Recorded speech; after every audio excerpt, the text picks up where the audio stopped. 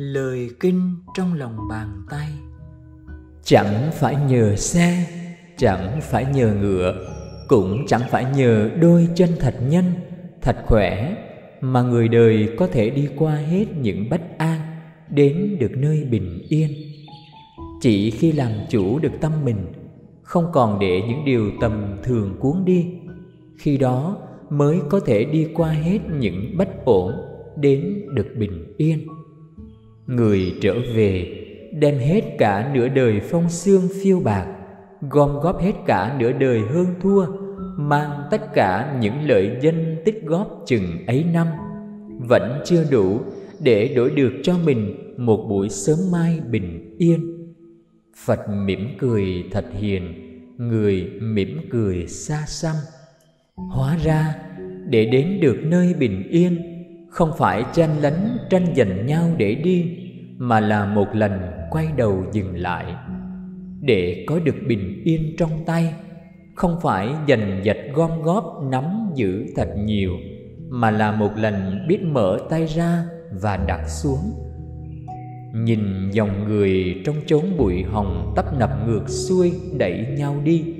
Thoáng buồn, khi biết người vẫn còn tất bạch ở đó, chốn bụi hồng ồn ả và đầy màu sắc câu kinh xưa lại tĩnh lặng và trong suốt như giữa hư không. Mấy ai nghe được, mấy ai thấy được.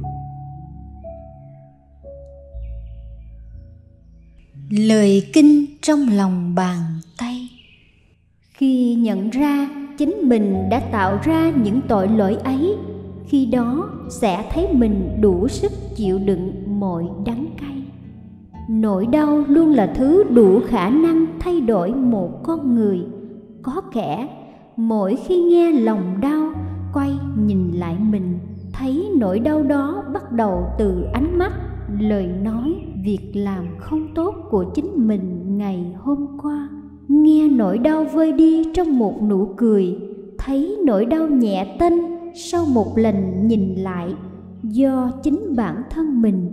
Có kẻ mỗi khi nghe lòng đau, lại nhìn đến những người chung quanh, tìm xem nỗi đau mình đang chịu nhận đã bắt đầu từ ai ở đó. Rồi nghe nỗi đau lớn thêm lên bởi những dằn vặt, hận thù. Những con người ấy đã làm mình đau. Thật ra, nỗi đau rơi vào cuộc đời chỉ là một thời điểm không kéo dài, nhưng do bởi một suy nghĩ không đúng, do bởi một lần động niệm, chúng ta đã giữ nỗi đau ở lại trong lòng rất lâu thành một vết thương. Không ai nhìn mãi vào lỗi lầm của người mà thấy lòng bình yên. Không ai chỉ nói mãi những lỗi lầm của người mà lớn thêm lên. Tháng tư, núi đã cuối mùa nắng tối qua có cơn mưa đầu mùa rất to. Từ cuối tháng ba, cây cối bắt đầu đâm chồi non. Núi đã bắt đầu lắm tấm xanh. Lũ cây trên núi đã nghe mùa mưa về rất gần. Cây cối bắt đầu đâm chồi để lớn thêm ở cuối mỗi mùa nắng. Con người lớn lên thêm ở cuối những nỗi đau. Lời kinh trong lòng bàn tay. Những điều đáng sợ lại không biết lo sợ. Những điều trân trọng không đáng sợ lại lo sợ. Người mãi trách chứa trong lòng suy nghĩ như vậy, sống như vậy, có đi đâu cũng không thể tránh khỏi những bất an. Những việc làm mang đến hậu quả đáng sợ, nhưng không biết sợ, nên chưa từng đủ ngập ngừng mà dừng lại nên ngày ngày vẫn thản nhiên gom góp gió cho một cơn bão lớn ngày mai. Những việc làm mang đến kết quả vui nhưng lại lo sợ, nên chưa từng đủ can đảm để theo đuổi đến tận cùng. Sợ khó khăn nên bỏ cuộc, sợ dài lâu nên dừng lại. Rồi sống những ngày như không, sống một kiếp người như không. Người đang lo sợ điều gì? Có người sợ lòng người rộng mà không dám đi qua, sợ chết chìm trong đó. Không dám mở lòng ra thương người thêm một lần nữa. Có người sợ lòng người sâu mà không dám nối dài sự chân thành. Sợ với không tới, sợ chạm không được, không dám thương người hơn hôm qua. Có người sợ bị lãng quên mà không dám tĩnh lặng. Sợ bị khuất lấp, sợ bị phai nhạt. Có người sợ không ai nhìn theo, nên khi bước đi chưa từng quay đầu nhìn lại. Có người sợ tổn thương mà thua người lại làm kẻ lạnh lùng. Có người sợ chân thành của mình, người không nhận nên dù muốn nói gì đó, nhưng lại thôi. Có người sợ cô độc, nên cả đời đi mãi về phía đám đông. Lời kinh trong lòng bàn tay. Đừng nói những lời, đừng làm những việc để người phải tổn thương. Đừng mãi nuôi dưỡng oán hận trong lòng kẻ làm người khác phải nhận lấy tổn thương, rất đáng hổ thẹn. Kẻ mãi nuôi dưỡng oán hận trong lòng càng đáng hổ thẹn hơn. Đáng hổ thẹn cho người chỉ biết xem thường kẻ khác, nhưng đáng phải hổ thẹn hơn là người mãi tin mình cũng tầm thường như người ta nói. Đáng hổ thẹn cho người vì muốn giành lấy một vị trí tốt cho mình mà sâu ngã kẻ khác, nhưng đáng hổ thẹn hơn là người bị ngã nhưng không chịu đứng lên. Đáng hổ thẹn cho người luôn mang đến những khó khăn cho kẻ khác, nhưng đáng hổ thẹn hơn là người khi mới gặp khó khăn đã vội từ bỏ ước mơ của mình. Đáng hổ thẹn cho người thường làm kẻ khác phải tổn thương, nhưng đáng hổ thẹn hơn là người luôn tìm cách cất giữ những oán hận trong lòng. Sau mỗi lần đối mặt với tổn thương kẻ mãi nuôi dưỡng oán hận trong lòng như tự cắt vào da thịt mình rồi mong chờ người khác đau. Lời kinh trong lòng bàn tay. Rồi ai cũng có những ngày chỉ còn muốn nói những lời chân thật những lời nói ấm như bàn tay. Không còn muốn nói những lời làm đau ai nữa.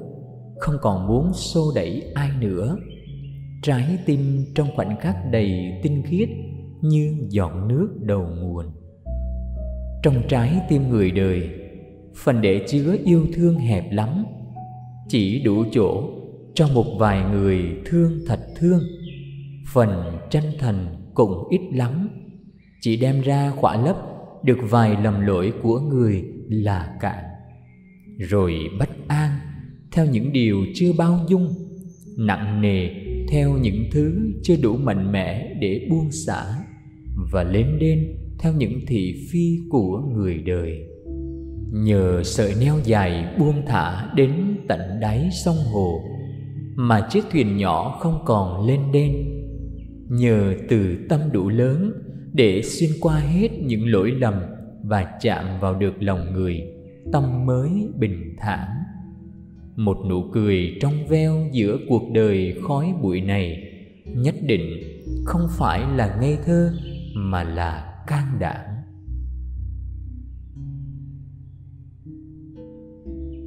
Lời kinh trong lòng bàn khi tâm loạn động, những suy nghĩ, lời nói, việc làm không còn thiện nữa. Khi những việc làm không còn thiện, ngày mai nhất định không thể vui. Điều tốt đẹp nhất là khi chúng ta vẫn giữ được một suy nghĩ thiện trong tâm. Vào những ngày trong tay không còn gì, với một người biết cách giữ lại hạt giống, sẽ luôn giữ được tâm bình thản khi đứng trước cảnh điêu tàn vì biết những điều tốt đẹp vẫn đang nằm gọn trong tay của họ. Một người có thể sống lương thiện trong những ngày rất đắng cay, nhất định, sẽ là người chiến thắng, sẽ là người bình yên. Vì bình yên chỉ đến với những trái tim có sẵn chỗ cho nó. Có người gieo hạt giống vào đất được vài hôm, lại đào lên xem thử hạt đã nảy mầm chưa? Chúng ta đừng quá lo lắng, hoang mang, đến mức phải quay lại đào bới những hạt giống thiện đã gieo trồng vào cuộc sống. Chỉ để xem thử nó có phát triển hay không. Khi mỉm cười, khi từ bi, khi thiện lành, bình yên sẽ đến. Có thể ngay lúc đó, chúng ta chưa nhìn thấy, nhưng có một bình yên đang đến rất gần. Lời kinh trong lòng bàn tay. Với một người chọn những điều thiện làm tài sản, họ sẽ tránh những suy nghĩ không lành, tránh những lời nói không hay, tránh những việc làm không thiện. Đắng cay trong cuộc đời không dính vào người ấy được. Cách để xóa hết nỗi buồn là cách nó vào một nụ cười sẽ chẳng còn ai tìm thấy nỗi buồn đó nữa. Cách để xóa hết những đắng cay là cách nó vào một suy nghĩ thiện, một lời nói thiện, một việc làm thiện, để những đắng cay không còn kiểm soát cuộc sống hiện tại, để không vì đắng cay mà động tâm tạo ác nghiệp cho những đắng cay ngày mai, sẽ không còn dấu vết của đắng cay đó nữa một trong những thử thách bản thân thực sự là tự tế với những điều không tự tế với mình. Thực ra, người đời không phải ngẫu nhiên mà rơi vào đắng cay. Do tâm thiện quá nhỏ, chưa đủ chỗ cho một bàn chân. Để khi cơn gió chướng từ cuộc đời ập đến, trao đảo, rơi khỏi tâm thiện quá bé nhỏ của mình, rồi ngã vào vực sâu giá mà tâm thiện lớn hơn để có thể đứng vững vàng trong đó trước mọi chuyện. Không có gì là quá nặng với những người đã biết cách đặt xuống. Không có gì là quá đắng cay với những người có tâm từ bi. Mỗi khi thật buồn, có người lại về ngồi trước phật, chỉ để được nhìn vào đôi mắt thật hiền của người người cũng từng đi qua thế gian, cũng từng gánh chịu những nỗi đau trần thế, nhưng người vẫn nhìn lại thế gian với đôi mắt thật hiền như vậy. Nhìn vào đôi mắt của người rồi học được sức mạnh của từ bi. Lòng người không đủ khả năng chứa cả bình yên và đắng cay cùng một lúc. Nên chọn thứ gì để cách giữ trong đó là sự lựa chọn của chính mình.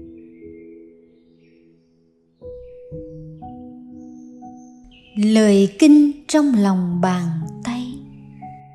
Đừng xem thường những điều nhỏ nhặt, cho rằng chúng chẳng đáng gì. Nên biết những giọt nước rơi mãi cũng đầy chiếc bình to. Kẻ trí sở dĩ hoàn thiện được mình cũng do biết tích góp từ những điều rất nhỏ gom góp những buổi sớm mai bắt đầu bằng một nụ cười. Bất kể ngày hôm qua đã kết thúc ra sao, ta có những tháng ngày bình yên. Gom góp những lần đứng lên sau thất bại, ta có những bước chân, bước đều qua khó khăn trong cuộc sống. Gom góp niềm vui từ những điều giản dị, ta có được hạnh phúc chân thật. Gom góp những lần hiểu nhau ta có cho mình một người bạn gom góp từng bình thản từ những được mất hơn thua. Ta có những bước chân an nhiên đi qua cuộc sống xô bồ đầy bụi này. Lời kinh trong lòng bàn tay. Bức tranh đẹp hay xấu là do người họa sĩ.